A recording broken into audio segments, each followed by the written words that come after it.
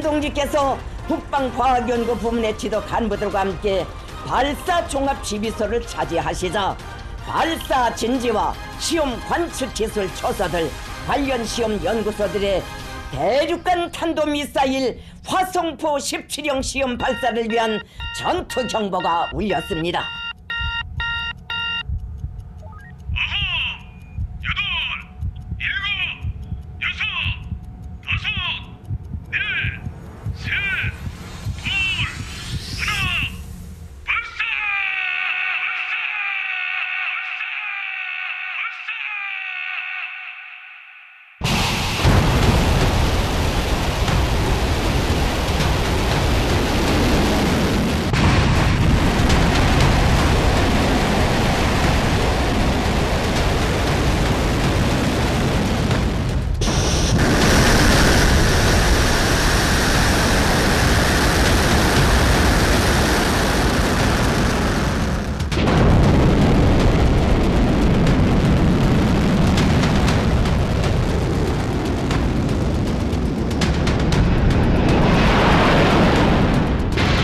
아니라